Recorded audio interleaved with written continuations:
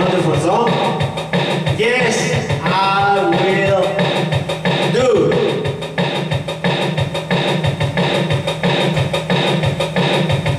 And now, my next song is for all the wonderful, wonderful persons in all around.